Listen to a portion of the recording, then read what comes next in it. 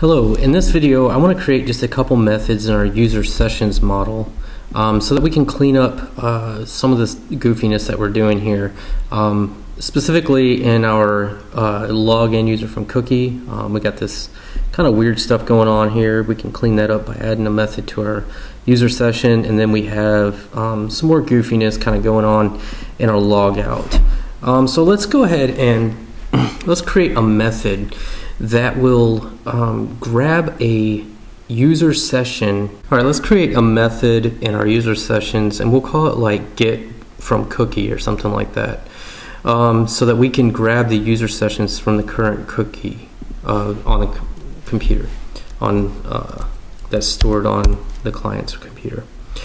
So what I'm going to do is I'm going to create this as a static method, I think. And we're going to say public static function and we'll call this uh, get from cookie. That sounds good to me. And what I want to do is I want to um, we'll just yeah what we'll do is we're going to say uh, user session is going to equal um, and what I'm going to do is do a self find first. Okay. And what I want to do here is we're going to, for our conditions, we're going to basically get uh, do the same thing we did earlier. We're going to find the um, we're going to find it by the user agent and by the session. Okay, so let's do the user agent first. So user agent, and that will be our first bound value and then we'll say and session okay equals. And then we'll bind that. So then what we can do in our bind is we can say uh, this is going to be an array and our first one is going to be session. And then we're going to get u uh, what was that called? It was u agent no version u agent no version All right, And then our second uh, parameter is going to be, um, we're going to say cookie get, and then remember me cookie name. All right, so that'll set up the user session. Now, we really only want to do this if there is a cookie name. So let's Let's go ahead and put an if statement here, not inside of that, but before that. And we're going to say if uh, cookie uh, exists, and that is not, okay. And we'll say remember me cookie name. So if that exists, then we're going to grab all of this. Okay. So then what I want to do is um, we'll say if not user session. So if the user session doesn't exist, then what we're going to do is uh, we'll just return false, I think. If it does exist, we're going to return user session. Okay, so let's see if this works. Um, so up here, we'll just say user session is going to equal um, user sessions get from cookie. All right. And then I'm just gonna, for now, let's just dump and die this user session. And let's test this and make sure this is working. Uh, let me fix my screen here. Whoops, that is not at all what I meant to do.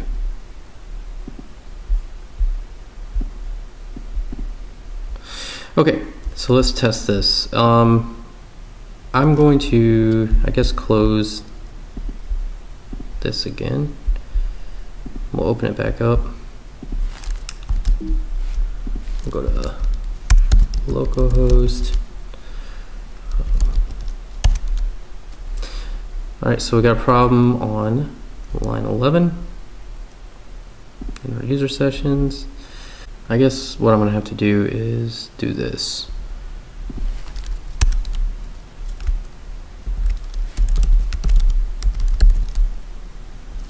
User session is equal to new self. And then user session that's kind of goofy. All right so this should be yep so this is my user my session user ID right here.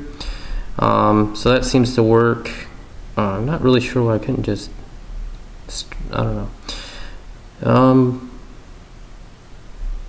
but now let's see. So we got that. Um, and then, so that we can get rid of all of this here. And let's just make this camel case. And then our user ID and we'll log in user. We could even go one step further and say, um, uh, if user new self int so we can say if user we put all this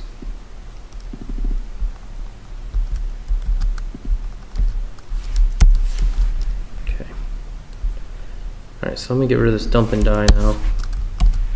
And all right so let's see if there's cookie um, let's go to the home page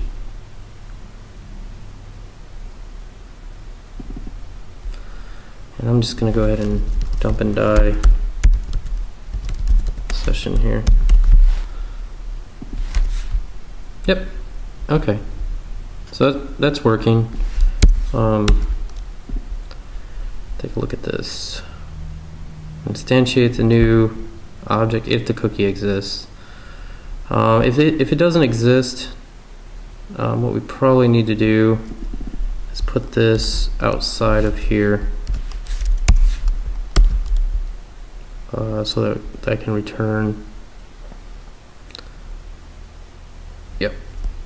Okay.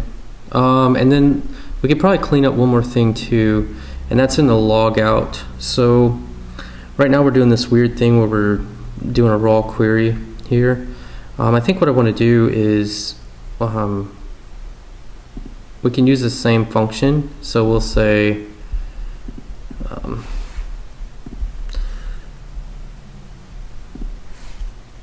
we can say user session is equal to user sessions get from cookie. So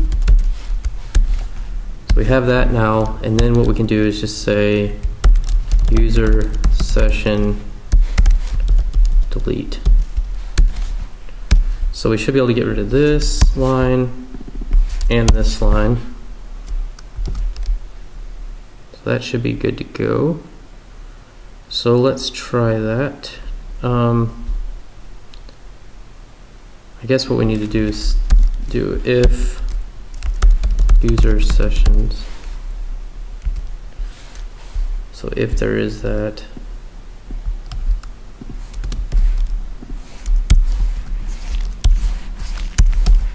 all right. All right, so let's try to log out now.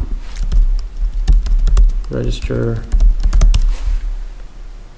Okay, so let's go to um, our database now and let's just check this. We're going to go to our user sessions. Oh, yep, it deleted it.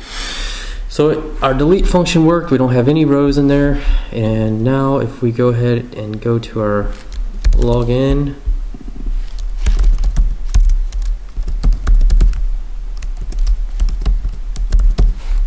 click our remember me. And we'll go back here and refresh. And we have that. And if we log out.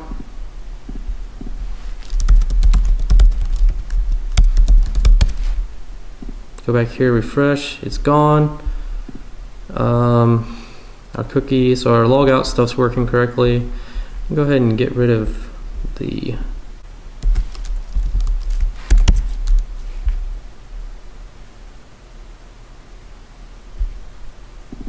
Oh, we still had it in our cookie name. We had it in our delete. There we go. Or I had that from testing earlier. Maybe you don't have that. So we don't have any delete now. So yep, redirected to our login. So everything's working great. I'm gonna go ahead and uh, call this the end of the video. What we're gonna do in our next video is start our registration process so that you can register users. Um, so we'll be building that uh, action and view, or that controller action and the view and uh, making that work. And we'll do validation and everything on that. So I'll see you in the next video and we'll get registration going.